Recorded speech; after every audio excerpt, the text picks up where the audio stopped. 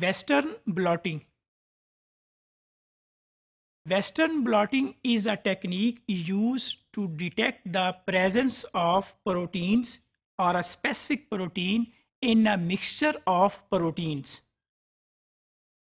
Western blotting is used to determine the molecular weight of a protein.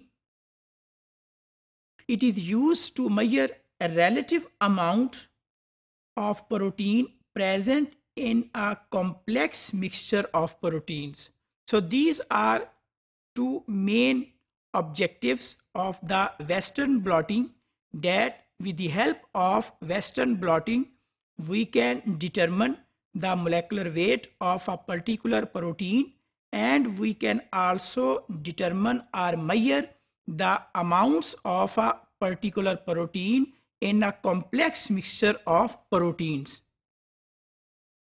Western blotting have become one of the most common analytical tool for detection of viral proteins as well as it is important for characterization of monoclonal and polyclonal antibody preparations in determining the specificity of immune response to viral antigens.